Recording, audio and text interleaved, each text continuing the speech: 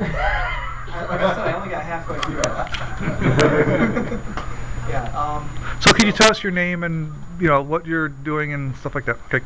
Absolutely. Uh, my name is Michael Mol. I am a software developer at a small company in Jenison, Michigan. Jenison is a uh, suburb of Grand Rapids. Grand Rapids being you know, over on the west side of the state, for those of you who uh, are most, mostly familiar with this south. Snow. Snow country. It's been it's, it's been about the same amount of snow all the way across the state today. I'll tell you. Um, I've been a software developer for, for about five years. Um, the other thing that I do is anything and any, anything and everything I can as far as learning about computers and technology. Um, I run a website called rosettacode.org. Um, it's just a programming web, a website for programmers, people interested in programming languages. Uh, Sorry about that.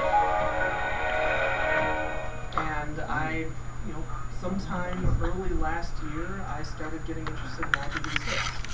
Um, IPv6 has been, it's turned out to be actually very easy to implement server side. Um, as far, you know, if you, Apache supports it, and all of your basic tools are going to support it as far as servers are concerned. Um, the big problem I ran into was uh, Squid 2 doesn't support it, but Squid 3 does. So that's you know it's a very simple, straightforward upgrade. I mean, your configuration files will still work.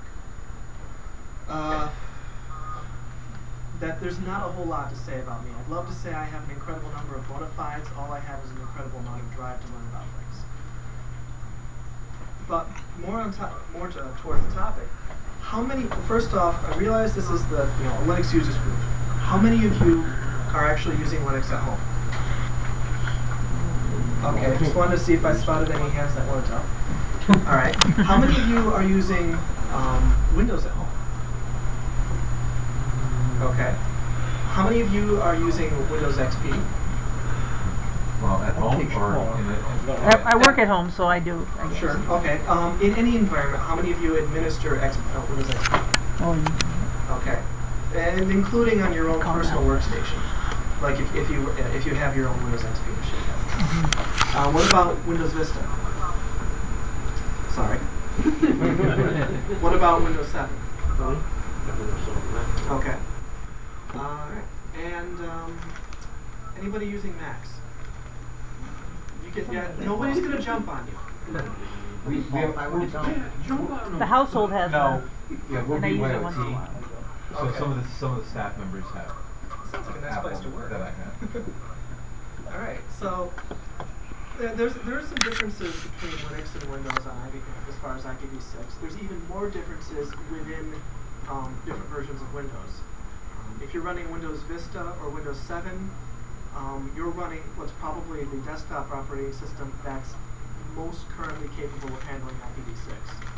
Um, Windows XP, it can, don't. Um, it's it, with, uh, they have a uh, they do have a uh, beta version of IPv6 support that you can install using a command called netsh, and that will allow you to configure IPv6. But I mean, XP is end of life and it's going out of support, and IPv6 is still changing a little bit, and you really would are better off using Vista or Windows 7. Yes, I just said you're better off using Vista than XP. Deal with it. Um, Plus Microsoft Beta is alpha for anyone else. Guess I don't have to worry too much about that. Plus Microsoft Beta is alpha for anybody else. That's true. That's true. All right, so in Linux, IPv6 is actually very simple. Um, unless you're unless you're building your own kernel and you um, explicitly disabled IPv6 support, you've probably already got it. Um, how many of you avoid using Network Manager? Okay. How many of you know what Network, network Manager is? I'm talking about network manager and Linux. In Linux, yes. Okay. If you avoid using Network Manager, um, you're going to be mostly okay. Um, if you're using Network Man- Manager, you're still going to be mostly okay. Uh, there are some, there's still some bugs in, in, in terms of IPv6 support on Network Manager. Um, I worked with the, the devs on that one a little bit a few months ago to get one of those quirks uh, ironed out. It's getting better. Uh, let's see. So I have a good idea of the software you guys are using. How many of you are familiar with the OSI network stack? better question. Barely you aren't? Okay. The OSI network stack is basically d- um, abstracting away the different components of your of, of your uh, network connection. You have, you know, let's say you, all of you are probably connected to the Wi-Fi here. Um, at least those of you who brought machines. Um, you're probably familiar with the concept of Ethernet, and you've, you've, heard of IP, you've, you've, or you've at least heard of TCP/IP.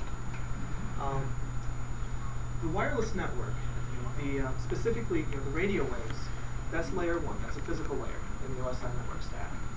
Um, the fact that you have something like an Ethernet frame, that's layer two.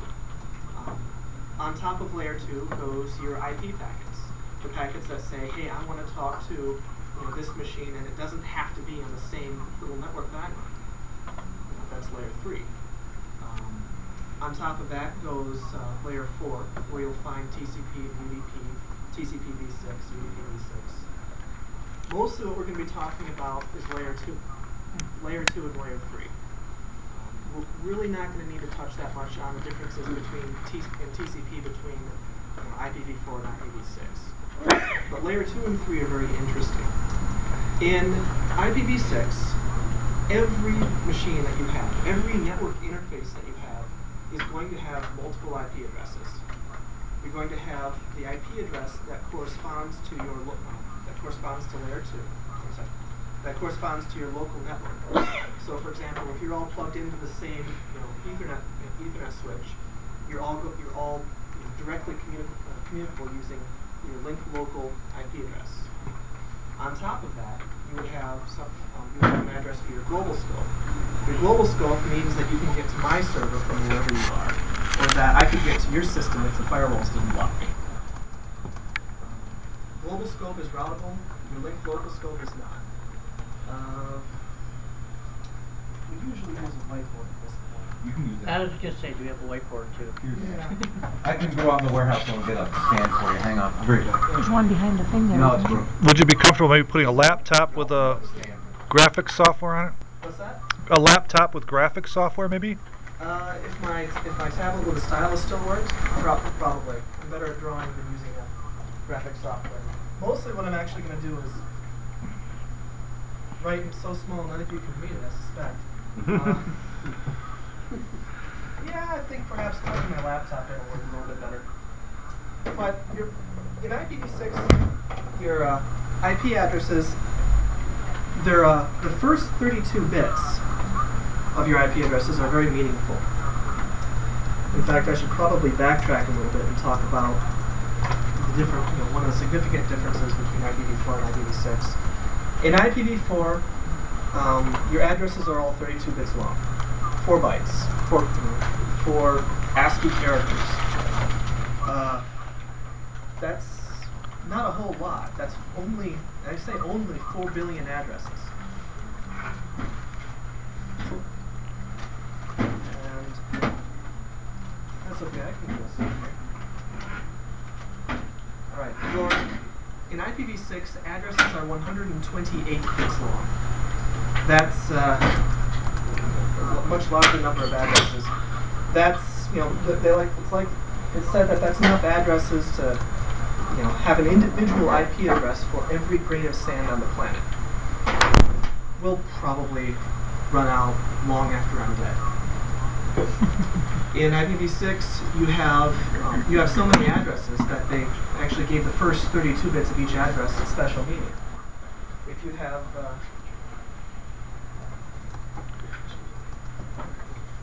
you have an address that's linked local, that address is going to begin with F E. And Parker just died. I think I'm going to wait for the laptop screen to come up there. Do you want me to go get you another marker? or No, I'm all right.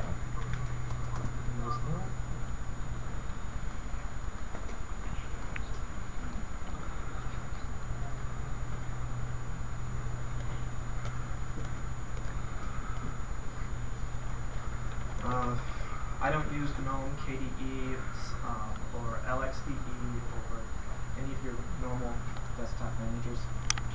My apologies in advance. As long as it works for you, who cares? Yeah. Uh, if go to Whatever works. Goldberg versus Katie Eagle, that'll be fine. No. LXD wins. I, I do like LXDE for if you need something that's familiar to a Windows XP user. All of your all of your Windows XP keyboard shortcuts port directly over. So, Like that. all right, so.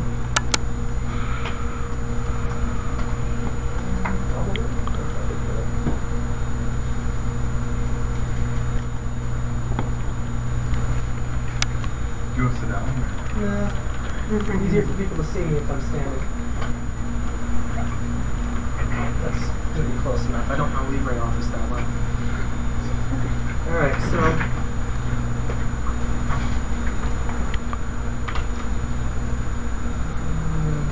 Still not do.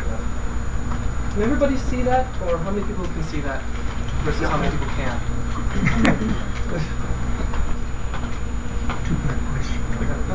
Camera, I just can't pick it up, but it's not a big deal. Sorry.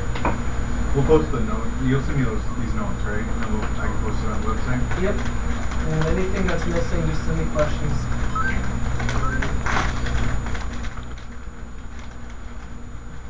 Oh, that'll be good. FE80, one thing that's probably, you'll probably notice is that's hexadecimal. Um, all IPv6 addresses are represented in hex rather than decimal. That's important because otherwise you'd have several very large numbers. Yeah. Aren't they still just two digits, so don't we need a colon between the E and the eight? Um, no, actually, each section of a IPv6 address consists of 30, um, consists of uh, 32 bits. Um, and what you what you might notice here is I actually have two colons there.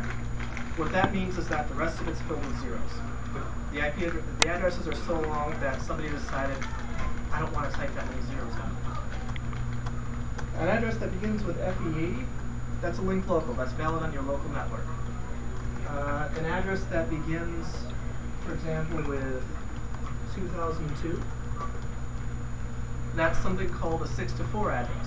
A 6 to 4 address is, a, is one way that you can get on IPv, the IPv6 network if you have a public IPv4 address. Um, if something begins with almost everything else, but for an example, we'll use uh, 2001 that's one of you know, one of many 32-bit prefixes for global IPv6 uh, address space. I'm sorry, say that again? One of many prefixes that's valid for the global IPv6 address space. I have a question. Can we go back to FE80 for? Yeah, sure. So FE80 is private address space, basically. So, but that's would be like here. I'm running on. I'm on the 10 dot in inside the building here. So that would be equivalent to that kind of a thing. Not exactly. What you're thinking, the, the closest equivalent to that would be something called uh, the UFA, um, which is kind of like a site local address space. Uh, those begin with FE, um, and then what numbers which I don't recall. I don't know how many, you- how much of that you can read. I'm used to reading very small text. Uh, I don't think I have get it. But I don't think I have uh, a better terminal installed at the moment either. But No, I, I don't think anybody can read that. okay, well. Is there a way of just making it larger somehow? I'm using Xterm. I have to modify the X, the X I don't recall if X resources. And what those are settings. How about X defaults? Okay.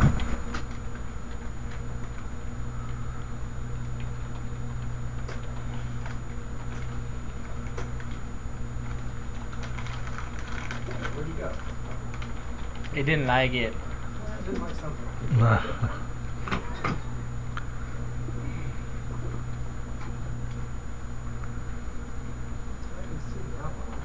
Yeah, but it's above. it. It's it's bigger than your screen. That's strange.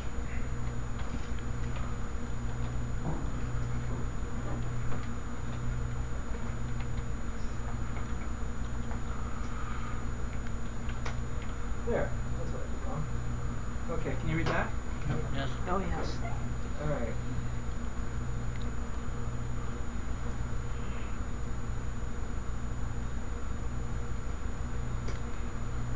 Okay. So at the you, uh, that's my loopback, that's my loopback address.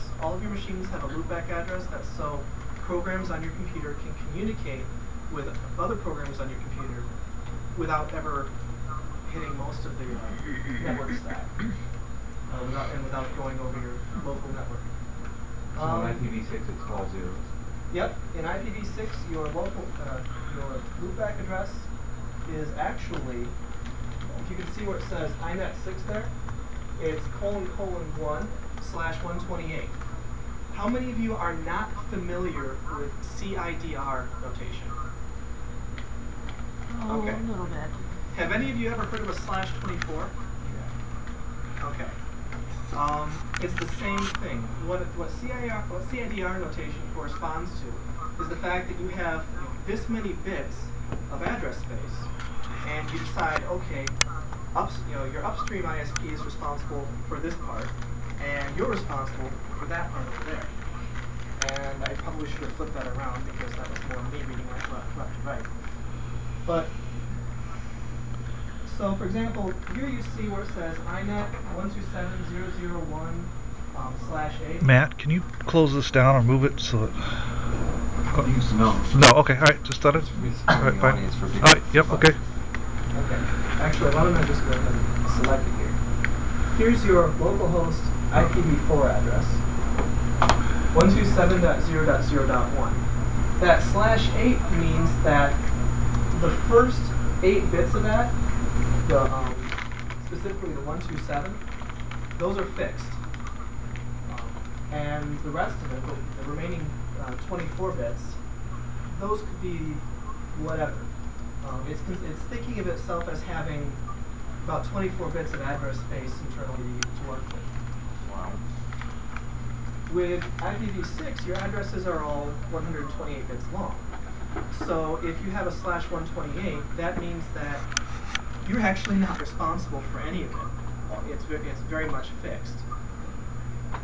Since the, you know, the 128 corresponds to the entire uh, length of the address. If I scroll down a little bit. So where it says that, Hmm? so like where it says INET six one slash one twenty-eight, that means that is fixed. It's all zeros except for the one at the end, and that's it. That's the whole address. There's nothing else involved in. Right. Okay. And you can see that there's the double colon with preceding one, which means it's 127 zeros, then a one, and that's your IP address. And GRE, I'm not actually using that. SIT, I'm not using that. Alright. E zero, my wired Ethernet connection. It's not actually attached to anything, but it still has an IPv6 address if I can find it. Isn't that like after? Yeah, that's the MAC address. Oh. Yeah, that's that's actually your uh, MAC address listed right there. That has a link scope. You're not seeing it. What's link tunnel mean? Link tunnel? Um, that's. Oh, I know what's going on. What's wrong here? I didn't attach the wireless network yet. Oh. huh. That'll make a your difference. Yeah, I'll- I'll make a No little bit of carrier. Okay.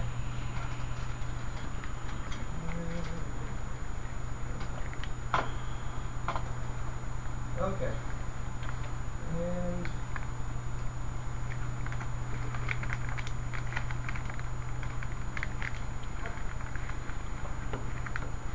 let's actually look specifically at the uh,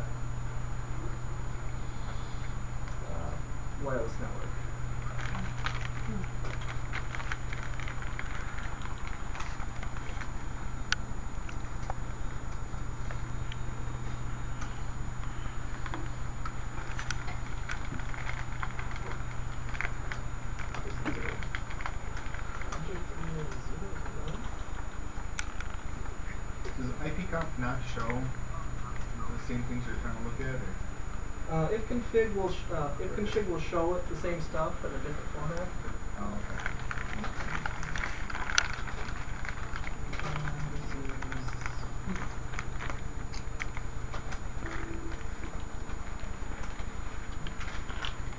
Okay, oh, I can see it here at least.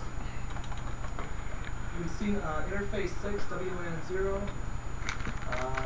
served by IPv4 address on a local network, that you know, 10.0.3.104. Remember when I was talking about CID, uh, CIDR notation?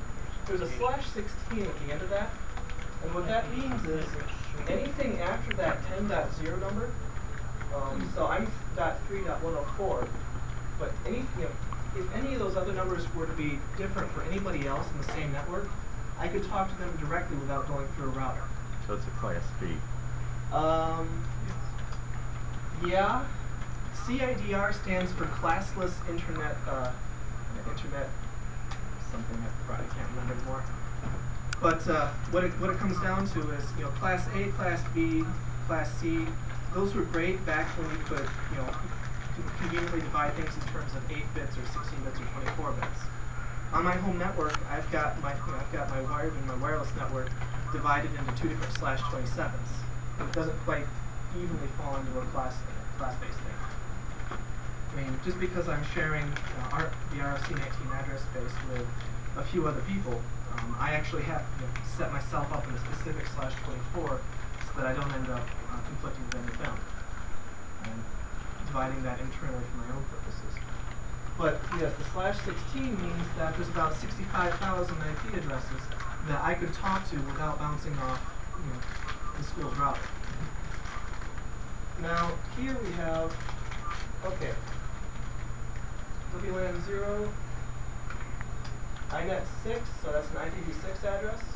FE80 means a link lo local address. Um, also, at the end of the line, you see it wraps, it comes back down to the word link. That means that it's telling me that, hey, this is a link local, you know, this is a link scoped address. Here you see two colons, means you know, it's going to fill it with as many zeros as it can Or as it needs to. as it needs to. And over here, that's a number that's derived from my MAC address. Um, in order to avoid having to talk to a DHCP server or you know, anything, you know, or any additional external um, uh, configuration tool, IPv6 uses your system's MAC address very frequently. That's going to be really, it's going to come in really cool when you find out that setting up IPv6 on a network is incredibly easy once you actually have that. So you're saying with IPv6, there is no more DHCP server handing out addresses? There doesn't need to be. There can be if you want it. And in fact, I don't know, as a network administrator, I would feel uncomfortable not handing out the addresses. You know what I'm saying? I understand. Like I said, there can be if you want it. And the big, one of the biggest uses of uh, one of the biggest uses, uses of DHCP is to be able to push configuration information, like you know where are the DNS servers. Yeah, and DNS servers and static. How do you assign a static address if you're not pushing out the addresses? Um, the addresses are static by default because the, remember your MAC address isn't going to change. Right. So Um, basically, you're giving an ad, you're giving a lifetime address to a device. Yeah. In fact, you're giving you know. Be it a, be it a telephone, a network card, um, oh, here's a curious situation. Mhm. I, I have, I, I have,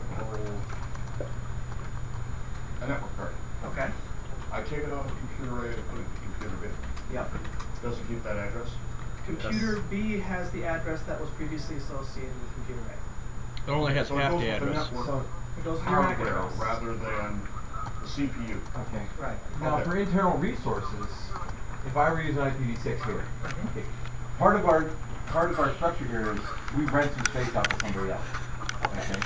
They recently installed a VPN device, and I had to point one of my external IP addresses to that VPN device. Okay. How do I, how do I do that in IPv6? Well, in IPv6, what you would do is you would probably give them a prefix.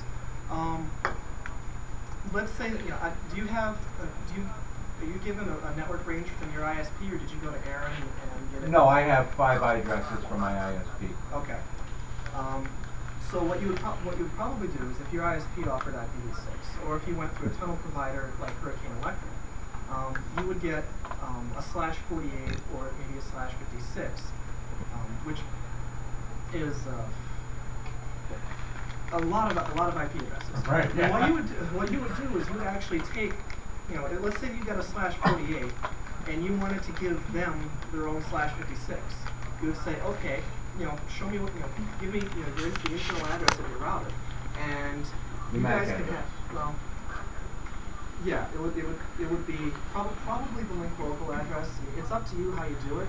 Once, once their machine has once their machine has. The way I did it here with the IPv4 is I assigned them a static address, and then I pointed my the the gateway and said this external address maps to this internal address. Okay. Well, what would happen is you would know their internal IPv, uh, IPv6 address. Um, whether, whether that's a link local address or a global scope address, which is a little bit of a chicken and egg problem that's fairly easy to resolve. But if you if you know their address, what they do is you know, their machine becomes its own router. You have if, if you have a, a slash 48 that's globally routable, you can divide that up into as many you know sections as you want and give that to somebody else, and they can have it run operating on their own router. So your ISP will give you, you know, you, you know, a large, large amount of space, and you would say, uh, go ahead and use this. Um, I'm going to use G to represent your section of the address, and um, V for theirs, and I for the ISP. The I, so you've got 128 bits, and the ISP is going to control this much of it, and otherwise the rest of this is yours.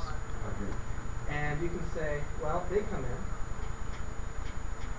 ISP still controls this much of it, and you're going to give that much of it to them. And I'm going to retain the G part. Right. Now, the thing is, this really extends more like this. And let's say you have, you know, somebody else, who comes in, or you have a computer lab where you want, you know, them to have their own range of addresses, where they can, you know, go, go do whatever they want, and you don't have to worry so much about them infecting the this network. network. So this is your experimental lab. You know, so let's say you gave them a slash 56. You gave your experimental lab a slash 56. You can do that because your slash 56 just represents you know, a different chunk out of your larger address space. And it's one of the really, really nice things about IPv6. So basically, DHCP is history. No, you can still use DHCP if you want to, and DH, DHCP is very much advocated by enterprise users, specifically because you can provide, you, know, you, you can provide more configuration info, info uh, information. You don't need to. Uh, Because you still have to, I still have to push DNS. How do you, you know, you still, have to- right? Mhm. Even though it's IPv6 now, I still have to push the DNS servers. yep. Yeah, And- but and everyone still needs, So I would still need And, DHCP. yep, and d- there's a difference between DHCP and DHCPv6. Not a whole lot of difference, but you know, and your configuration options if you're using uh, like are you using um, ISC's DHCP server? What are you using to handle? It's a Linux box, whatever. Uh, just the DHCP. Okay, that's probably by ISC. Their IP, the IPv6 version of their DHCP server configured essentially the same way. Um, now, the, there is a difference in how you get to the DHCP server in, IP, uh, in IPv6 as opposed to IPv4. In IPv4, you plug a machine into the network and it says, um, hey, yeah, I need an IP address. Anybody? Anybody? wireless network with a lot of loss, somebody says, "Hey there, what? I can't hear you." So, in uh, in IPv6, you plug a machine into a network and it doesn't do anything. Instead, what happens is your router broadcasts something called router announcements. Your router know, your router announcement is going to say, well, in, in, in, the, in a very basic configuration that doesn't include DHCP6, your router announcement is going to say, yeah, um, I'm your local neighborhood router. Um, I control, or rather, you can you can use you know, any of this amount uh, of this amount of address space, and here's your prefix. And the prefix being, you know, either what the ISP gave you or whatever you decided to subdivide to that particular area of the network. And you know, every machine that hears that has the option of saying, okay, well, here's my MAC address. There's the prefix prefix, MAC address, zeros. Good, I've got my IP address. It's incredibly easy. now you could even use that for security by, say, turning off the bro- the broadcast or the advertisement as your router, continue routing, but not let anybody else know uh, on the network after that point. Would that to be an extent, there, you know, there, there's there's a lot of there's a lot of di- different and interesting ways that security can come into question in, in an IPv6 network. Um, but for example, I use prgmr.com for my VPS, I run a server, and, that's you know that's in their data center. Now, you know, they give me native IPv6, Right. but but they're not pushing router advertisements. Um, they actually gave no, well, they didn't tell me which address to use. Instead, there's an address that you can ping. That's a multicast address, and anything that is a router will respond, Hmm. which actually can be re- really interesting. But So, so Yeah. you have to set, if you were in that type of a situation where your router wasn't going woo-hoo, yeah. then each machine would have to be set up that once it acquired a network connection, it would send a ping on a multicast band. Normally you would normally you would use router announcements if you did if all of the machines in question were not you know pre-config, pre-configured or static. Right. Like for example, in the in the, vir- in the server's case, those machines don't need to ask what the what Right, because when they come up, they know what they're gonna use. right. Um, and The same way you configure a static address on a card now. Sure. Yeah. Um, now, you wanted to use DHCP. What you would do is in the in the configuration for RADVD.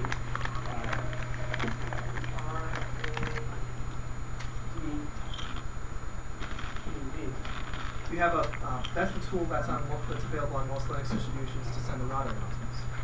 Um, you would say uh, we're going to use some uh, enhanced configuration, and they're going to go to that address to talk to the HCP server. And what that's mostly going to do is say, all of this information, well, you don't get that much from me, but hey, I am the router, and you need to talk to that guy to get your address and the additional configuration.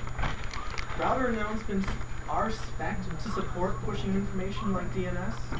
Um, Windows doesn't, the Windows doesn't support that yet, and neither does Network Manager or any of the Linux systems yet. So the router announcement can say, hey, I'm the router, but go here to get your address. Right, just like in DHCP, you're able to have your DHCP server say, um, yeah, I'm a DHCP server, but you want to talk to that one over there. To get out of the building.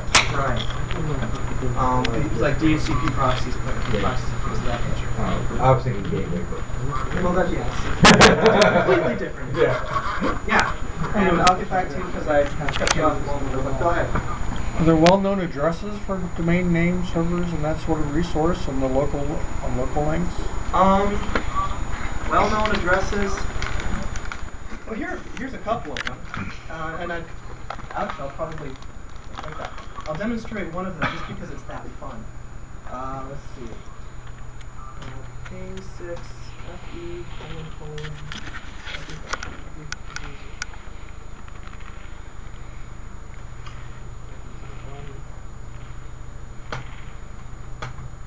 Trying to how do this. It's Like all three days, and for some reason I'm forgetting now.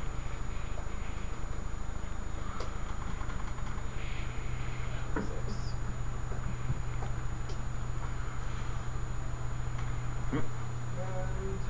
And that's not good. Did I disconnect from Windows Network? No, I did not. Um, no, honestly, not certain what's going on there. Not gonna worry about it right now. But there are um, there are multicast addresses in IPv6 for uh, where you can ping an address and, or rather, the, the address represents all of the machines on the local system on the local network. So you can often, if a machine is configured to respond to ping, you can find out how many machines are on the network. And it's a very easy way to scan for you know, scan for machines that you didn't intend to be there.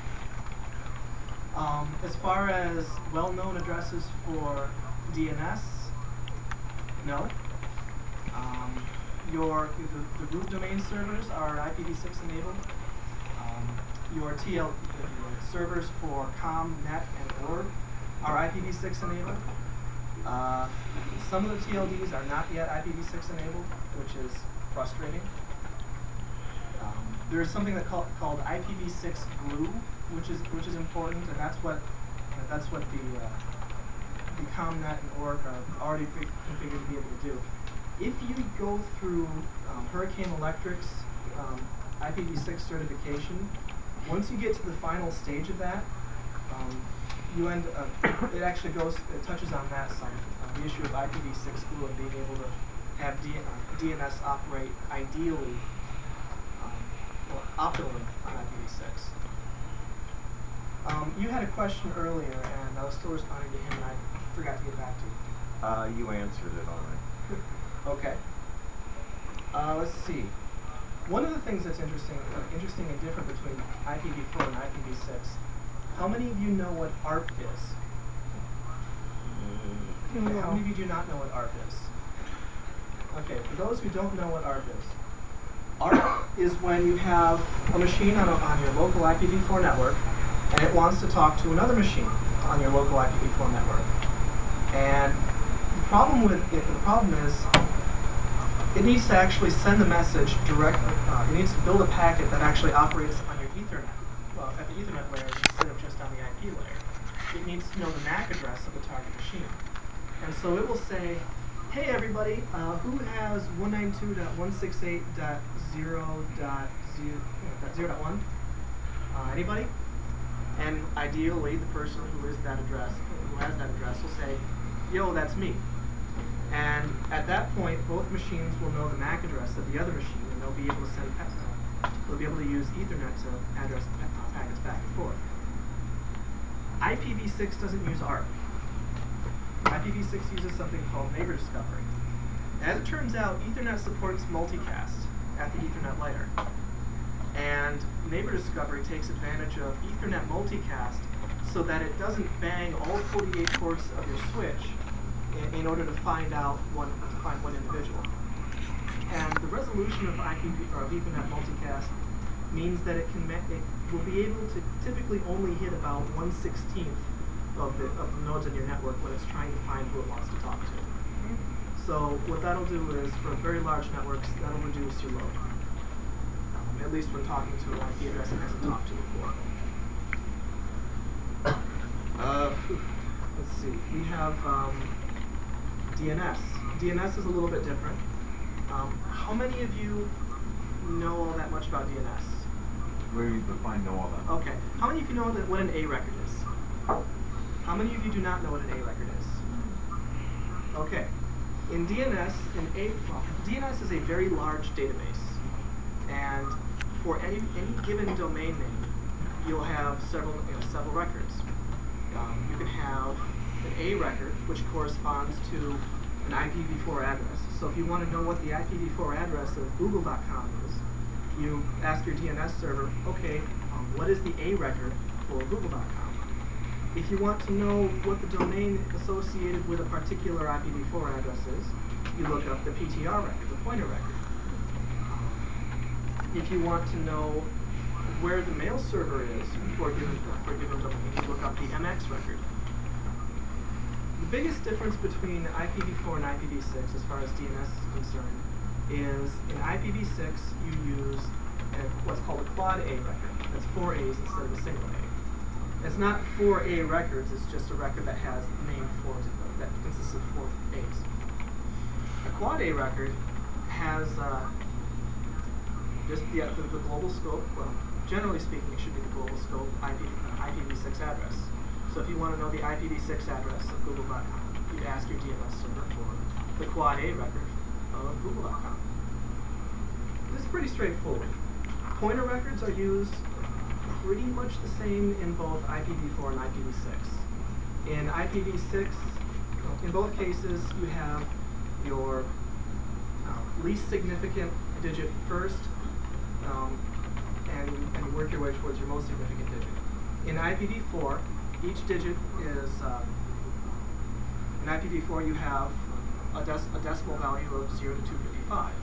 And that'd be you know, your decimal value, dot your decimal value, dot your decimal value, value. In IPv6, you work your way back, uh, you work your way using in hexadecimal, using one character at a time. Uh, they're much longer records. And no, you can't use the nice little double colon shortcut. It's nice to have those auto, uh, handled automatically. That's the big difference between IPv4 and IPv6 on DNS. Let's see. Uh, how many of you have played with IPv6 already? Um, I do know that Well, some. I got as far, in Hurricane Electric's thing, I got as far as when you had to then get a, have them assign you a block of addresses, so basically the first part. Okay. Um, there's a, I don't know how many of you have asked your I, do you know if your ISPs offer I, IPv6 yet? Most still don't, which is real Most annoying. don't, some do. Um, Well, so which ones in the area are likely to, is your AT&T? area or mine? Pardon?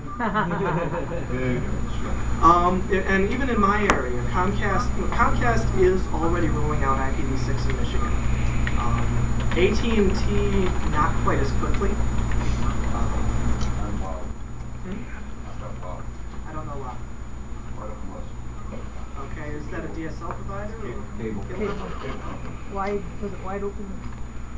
Oh, they're, they're providing everything now too, cable TV and uh, internet, so. Well, you'll, you'll need you'll need to ask them. I don't. Um, I'm not familiar with them. Um, ask them if they support IPv6.